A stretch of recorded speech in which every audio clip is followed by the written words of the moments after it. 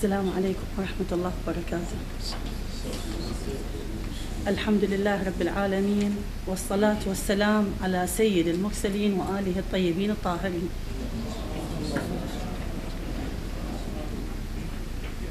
إن تركة الشهيد السيد محمد باقر الصدر قدس سره من التراث العلمي والفكري كبيرة ومهمة حيث أنها تناولت مجمل الفكر الإسلامي. بأبعاده المختلفة. أي فقراءة أي عنوان. من عناوين نتاجه الفكري نلحظ أنه قدس سره وضع فيه نظرية كاملة. أو لمحات وآفاق وخطوط يمكن أن تنتهي بالدارسين إلى النظرية الكاملة بذلك الموضوع.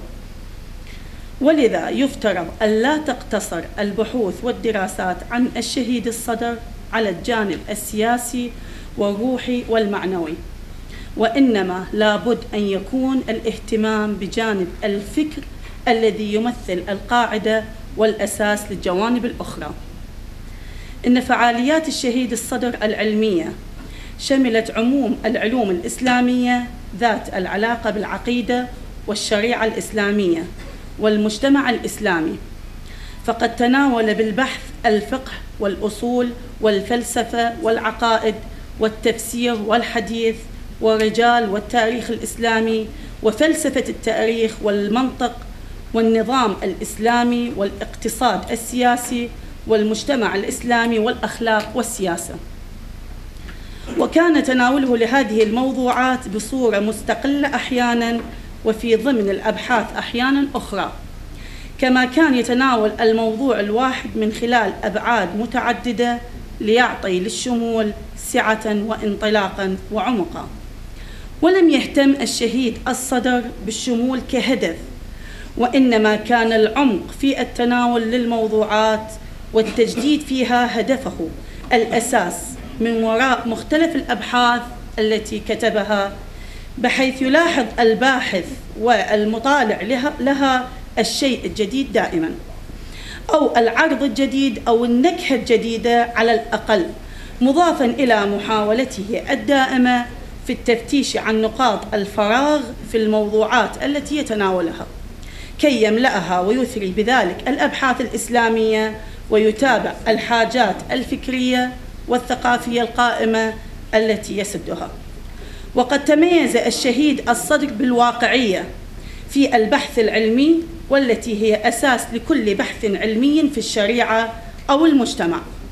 والواقعية تعني الانطلاق من الواقع القائم أي الموضوع عند تفسيره ومعالجته بعد استنطاق القرآن الكريم والسنة الشريفة والقوانين العلمية والتاريخية. وبالتالي التمييز بين تفسير النص بالواقع وبين تفسيره مع الإغماض عنه وفصله عن إطاره وهدفه كما وقع في ذلك الكثير من الباحثين. فالالتزام بحالة تفسير الواقع بالنص ومعالجته من خلال النص الشرعي والسعي لتحقيق هدف النص الذي ورد لمعالجة هذا الواقع يمكن تسميته بمنهج الاستنطاق. لما ورد عن الإمام علي عليه السلام في حديثه عن القرآن الكريم حيث قال ذلك القرآن فاستنطقوه ولم ينطق ولكن أخبركم عنه ألا أن فيه علم ما يأتي والحديث عن الماضي ودواء دائكم ونظم ما بينكم. وقد أشار الشهيد الصدر إلى هذا البعد في البحث العلمي عند تناوله الفرق بين التفسير الموضوعي والتفسير التجزئي ورغبة في إظهار واستنطاق تلك البحوث المهمة فقد تم اختياري لهذا البحث الذي هو بعنوان المفهوم التجديدي لعلم التفسير عند السيد محمد باقر الصدر قدس سره وقد قسمت البحث إلى مبحثين كان المبحث الأول حول مفهوم تعريف أو المفهوم اللغوي والإصطلاحي لعلم التفسير والمبحث الثاني كان هو المفهوم التجديدي لمنهج أو لمنهجية تفسير القرآن الكريم. فكانت هناك عدة ملاحظات حول منهجية السيد الصدر من أهمها واحد أن المنهج الصحيح في التفسير هو الذي يهتم بالظهور البسيط والمعقد. معا الأمر الذي يؤكد ضرورة الاهتمام في تفسير الآية القرآنية بالآيات القرآنية الأخرى التي تشكل قرينة على تفسيرها وتوضيحها باعتبار أن القرآن الكريم يمثل كلاما واحدا متصلا بعضه ببعض آخر. الأمر الذي يجعل الظهور القرآني معقدا يحتاج إلى الاجتهاد والجهد في تبيينه وتوضيحه. ثانيا الاهتمام بتفسير المعنى إلى جانب الاهتمام بتفسير اللفظ فإن التفسير الحقيقي هو ذلك التفسير الذي يتناول ما يؤدي إليه المعنى من مصادق وما يجري عليه المعنى من حالات. لا مجرد بيان المعنى اللغوي لللفظ الذي هو تفسير لللفظ. ثالثا التزام منهج الموضوعية التي تعني التحرك من الواقع القائم والمشاكل والأسئلة التي تثيرها الأوضاع المعاشة. والعرض على القرآن واستنطاقه لحل المشاكل القائمة في هذا الواقع أو الجواب على الأسئلة التي يطرحها الواقع من خلال ما يكتنفه من غموض في الموقف.